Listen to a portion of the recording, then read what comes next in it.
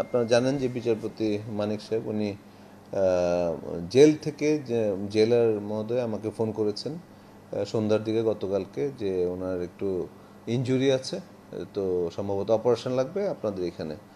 তো আমরা সেভাবে আগে থেকে প্রিপারেশন নিয়ে রাখি এবং পনে নয়টার দিকে ওনাকে নিয়ে আসে। আমরা ডাইরেক্টলি ওটিতে নিয়ে যাই।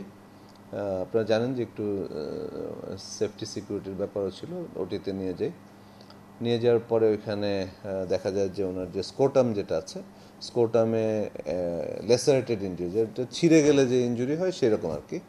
তো সেটাকে আমাদের যে ডক্টর যারা আছে সার্জনরা তারা টয়লেটিং করে, পরিষ্কার টরিষ্কার করে, তারপরে স্টিচ দেয়, প্রায় তেরো চোদ্দোটা স্টিচ লাগে আর কি। ওইটা করে, বন্ধ করে আসে এবং আমরা ওনাকে অবজারভেশনের জন্য পোস্ট অপারেটিভ কেয়ারের জন্য আমরা আইসিইউর একটা কেবিনে রাখি আর কি।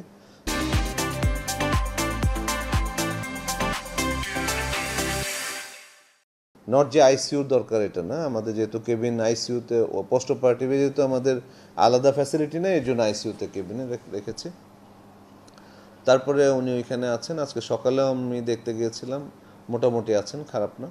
তো যেহেতু একটা অপারেশন হয়েছে, এটা তো একটু মানে ইনিশিয়াল স্টেজের আমাদের থাকা দরকার আছে। আরও ওনার আগের থেকে ইয়ে আছে ডায়াবেটিস আছে হার্ট ডিজিজ আছে সো এইগুলিকেও আমাদের কেয়ার নিতে হচ্ছে।